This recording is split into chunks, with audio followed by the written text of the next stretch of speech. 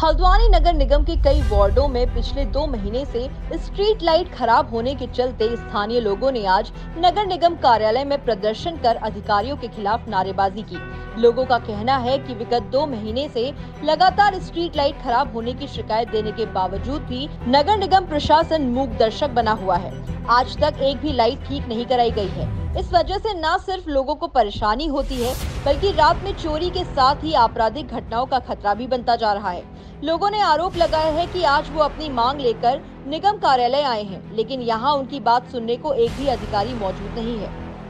नहीं है सबसे बड़ी बात हमारे वार्ड क्षेत्र नंबर सैंतीस में विगत दो माह से स्ट्रीट लाइट की समस्या बनी हुई है और दो महीने बीत जाने के बाद सारे अधिकारियों को सूचित करने के बाद भी आज तक इसका कोई समाधान नहीं हुआ और आज हम लोग यहाँ नगर आयुक्त महोदय को इस समस्या को अवगत कराने के लिए आए तो आज यहाँ कार्यालय पे भी कोई भी अधिकारी मौजूद नहीं है। तो अब क्या करेंगे आगे आप?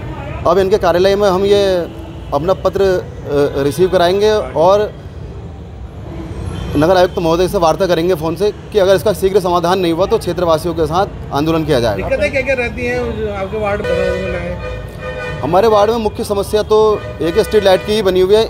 इन पे किसी भी अधिकारी की मॉनिटरिंग नहीं है। कोई भी देख रेख और इसकी उचित व्यवस्था नहीं हो पाती है। बिल्कुल बिल्कुल। और स्ट्रीट लाइटों की का ऐसा प्रबंध किया गया है कि कहीं कहीं पर तो लाइट अगर सुबह से खुली है तो वो खुली ही रहती है, वो ऑफ़ नहीं हो पाती है कभी। अधिकारी यहाँ पर नहीं है, क्या कहेंगे अधिकारी आपकी यहाँ पर कुछ कोई